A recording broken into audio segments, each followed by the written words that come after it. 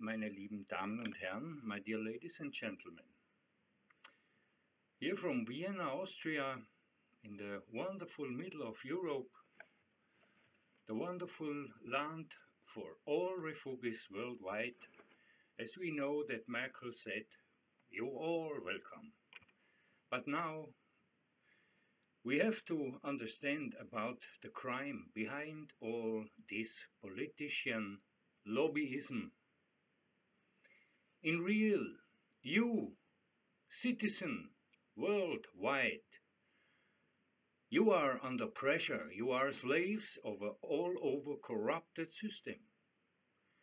I mean, I speak about economy systems worldwide, what allows and what is needed to do be corrupted, to be uh, corrupted speculation. And uh, I mean, if we don't stay away from these systems now, I think it's really time for a little bit of sunstorm. I am speaking about that I have really very special solutions, really realistic plannings, and of course there is always, always time for faith to each other. The problem you have on earth is that you lost your faith, maybe to yourself, to your neighbor, to your family, and at least to your governments, of course. So, my dear ladies and gentlemen, this is just a quick message and a, special message to this fucking Austrian Nazi crime government. Today is the 5th October 2015. I am fighting now since 2000 to become my rights, and it's not a, a question about what I want. It is about that these justice ministers or involved ministers are real crimes. They are protecting their other friends and ministers before. They are not willing to stop their fucking lies and terrorism on me and my wife. And now listen very good, you tiny fucking Austrian government.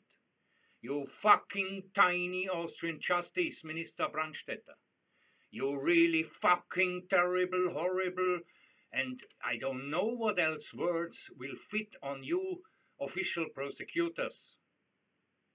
Wir werden das jetzt kurz in Deutsch übersetzen. Diese dreckige, lügende, korrupte Regierung in Österreich, auch im Jahr 2015, Seit 2000, meine Damen und Herren, muss ich mich eines Terrors erwehren, der durch gewisse Ministerien und Behörden Ärsche regelrecht erzeugt wurde. Eure Scheißhirne werde ich jetzt wirklich mit der Wahrheit konfrontieren und eure dreckigen, korrupten Ärsche aus den Sesseln befördern, wie ihr noch nie aus diesem Sessel befördert wurdet, seit die Habsburger Scheiße zugrunde gegangen ist.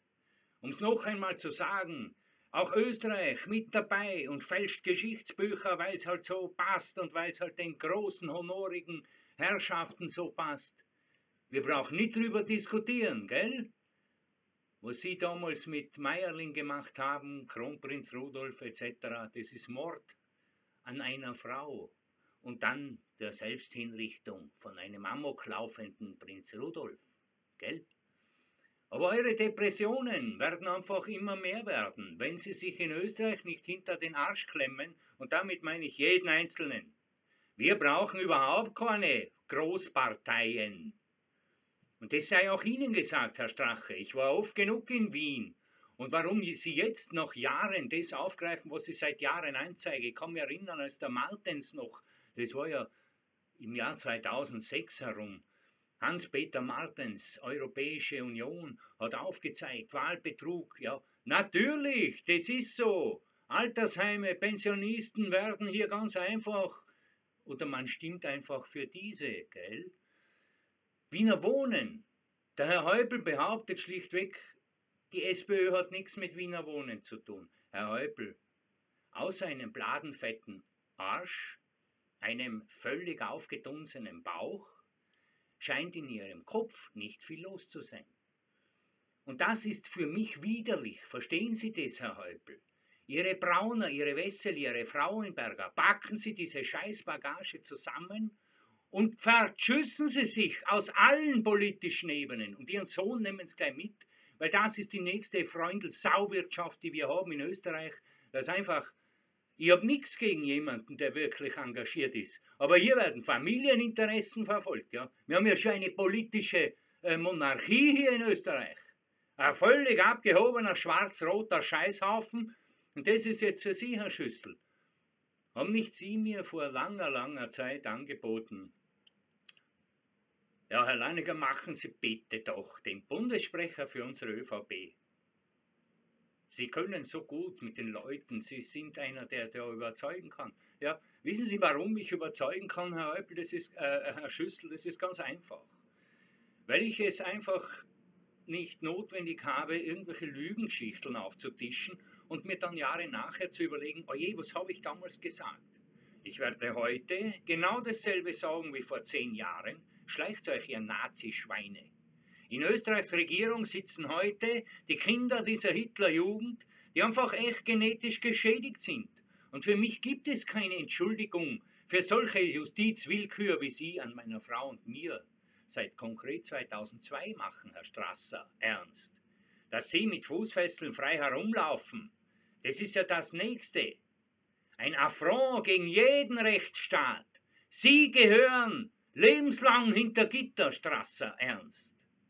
Und ich sorge dafür, dass du kleines Arschloch und dreckiges Minister, Verbrecherschwein, der zuständig ist für diesen ganzen Polizeiterrorstaat, der heute über die Mikl-Leitner läuft, als die Fekter aufgefordert wurde, Stellung zu nehmen zu diesem hundertfachen Terror durch dreckige Wiener Scheißpolizei und Kripo an meiner Person, da schicken sie die Vega, dass Sie 2013 mich meiner Freiheit beraubt haben, obwohl bereits in Medien Sie aufgefordert wurden, Mikl Leitner, für diesen Polizeiterror in Neunkirchen gerade zu stehen.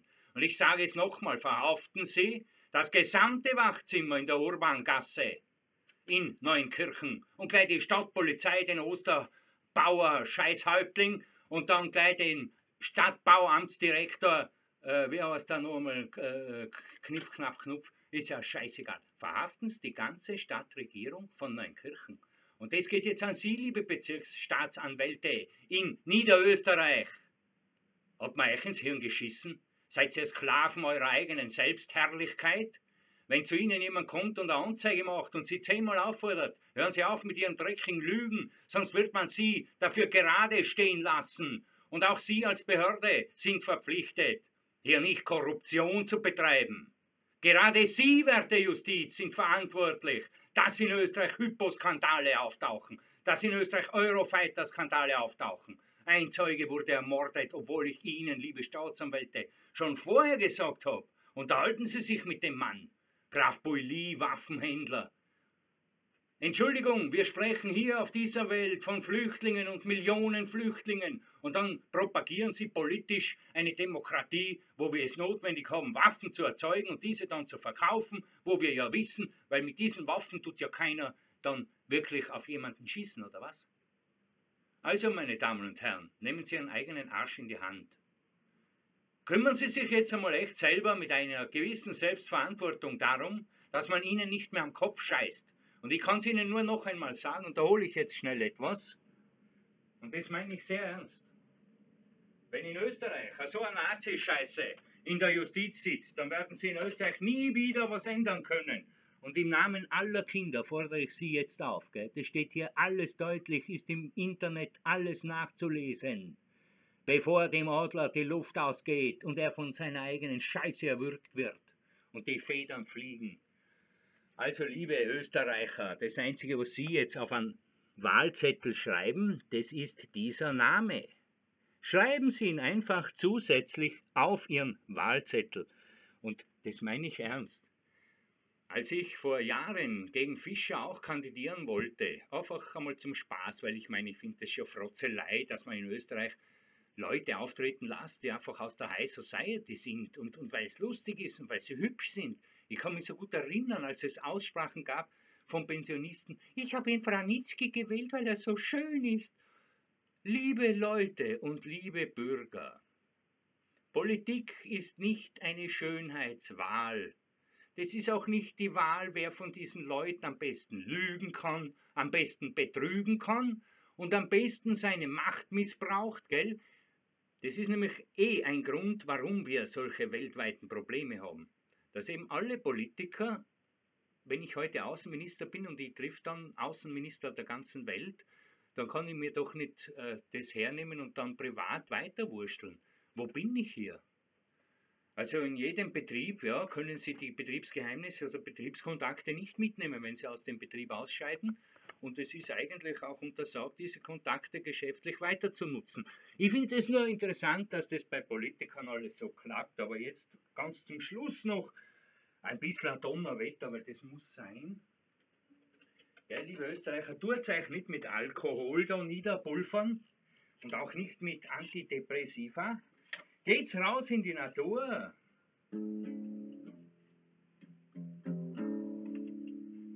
Das wird lauter.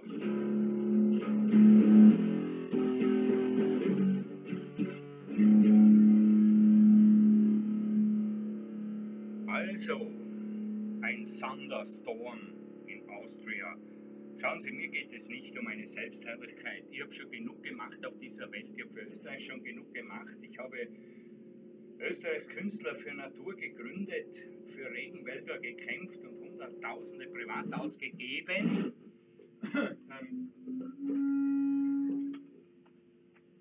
Ich diskutiere nicht mehr mit Verbrecherjustizbehörden, Verbrecherministerien, Verbrecherbezirksgericht Baden. Noch einmal, liebe Vizepräsidentin von Baden oder war es überhaupt die Vorsitzende? Genauso wie in Mödling, gell? Der volle Huscher, der volle Abschnalzer. Wenn man solchen Dreckstrotteln ins Gesicht sagt, dass sie ihr Amt missbrauchen, drohen sie einem. Als ich unlängst nur einen Termin angesucht habe, am, am Dienstag, da steht nämlich drinnen, wissen Sie, bitte um telefonische Voranmeldung für ein Gespräch am Amtstag. Jetzt müssen wir uns schon am Amtstag anmelden, gell? Ich bin der Meinung, wenn wir schon Gericht haben, dann machen wir Dienstag, Donnerstag Amtstag. Und wir brauchen uns gar nicht als Bittsteller hinstellen, weil die Justiz ist bezahlt, um für den Bürger zu arbeiten. Und das einmal laut und deutlich zu sagen, ich weiß nicht wie lange, die Raiffeisen, Dreckskonzerne und ihre ÖVP-Verbindungen da Einfluss nehmen auf die ganze Justiz und Gesetzgebung in Österreich.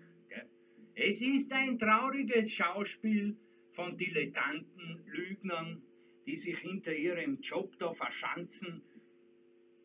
Würde es Politiker wahrscheinlich gar nicht so viele geben, und so einen immensen, nicht mehr kontrollierten Verwaltungsapparat, den wir ja in der EU auch haben.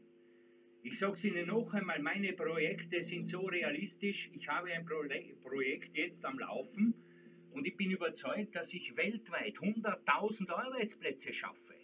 Ich habe vor, hier nur Flüchtlinge in meine Firmen aufzunehmen. Und das wird aber nur realistisch werden, wenn diese Dreckshurenjustiz in Österreich einmal echtes Handtuch wirft und zugibt, ja, wir haben den Auftrag, ihr Leben und alle ihre Belange unter den Tisch zu kehren, Herr Lannecker, Sie haben sich mit der Republik angelegt. Nein!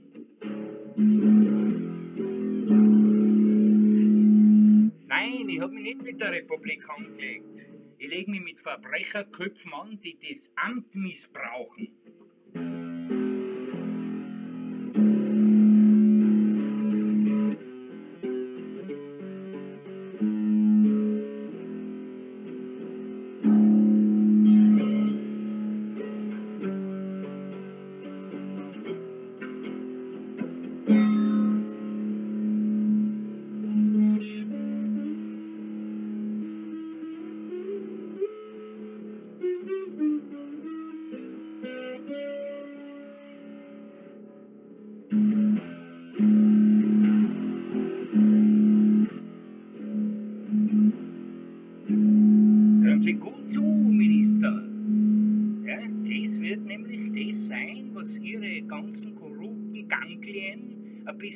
Vibration bringen wird. Und wenn Sie sich obergescheiden, wenn Sie sich obergescheiden mit der Wahrheit anlegen wollen, dann hätten Sie das aber früher machen müssen. Was Sie gemacht haben, ist widerlich. Und jetzt wünsche ich Ihnen allen einen guten Tag. Ich hoffe, ich hoffe, dass Sie alle begreifen, worum es hier geht. Ich stehe dazu. Ich habe dem ORF oft genug gebeten, auch eine Sendung zu bringen und einmal mich dort sprechen zu lassen. Und auch wenn ich dort harte Worte verwenden werde und ganz konkret Namen nenne und vielleicht nach und während der Sendung schon Einsatzfahrzeuge am Weg sind, um Minister in U-Haft zu nehmen, dann wird es so sein. Aber das ist der Grund, warum der ORF auch nichts bringt. Ich habe Bürgeranwälte angeschrieben. Ich sage es jetzt noch einmal. Ähm, der Fall ist so brisant, dass sich wirklich keiner drüber traut, aber man der Meinung ist, äh, man kann das einfach vertuschen. Nein, noch einmal, gerade weil ich für mein Land bin, und das heißt Österreich. Und Österreich heißt für mich alle Bürger Österreichs, das heißt für mich nicht FPÖ, ÖVP, SPÖ, Grüne, sonst noch welche karierten, linierten, straffierten und sonst welchen karierten. Noch einmal, Politik ist abartig geworden, hat sich erlaubt, durch Betrug, durch Lüge sich in eine Abgehobenheit zu begeben. Da kann man gar nicht mehr sagen, Hochmut kommt vor dem Fall, weil so tief kann man gar nicht mehr fallen. My dear ladies and gentlemen, this is my report from Austria, Vienna. I am pleasing international media now to help me support my cause, my fight against the corrupted Nazi government of Vienna and Austria. And sure, I can, I promise you, if I am able to get my money back what they have really taken from me over 15 years now. I promise you, I will build up firms, companies, for over 10,000 people for jobs. Maybe 2,000 here in Austria, and the rest I will do everywhere. My idea about the Dragon Day, to produce these chocolate dragons, this project is a real project. It will help to get jobs. It will help the whole economy. And it also will be a real funny thing, because everyone loves chocolate. And if I am doing my profit into social projects too, I mean, what more can we do? Help me to destroy now the Austrian government, the crime Minister Mikl Leitner and her terror cops, Help me to get my 3 million euro from this fucking Nazi Austria government. And I told you, I love my country, but I don't like corrupted presidents, terrorists, or any crime. Really, you are history. Thank you very much.